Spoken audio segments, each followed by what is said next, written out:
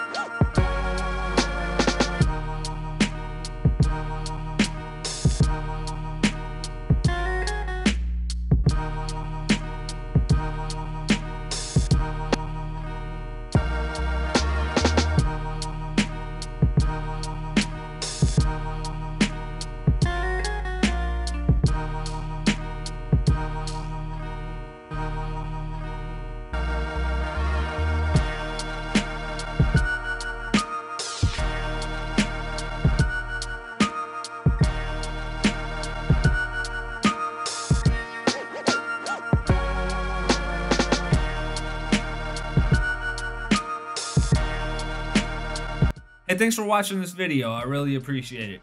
Feel free to subscribe and check out some of my other videos. They're alright. More beats for sale and for listening on my website, j-ideasgotbeats.one.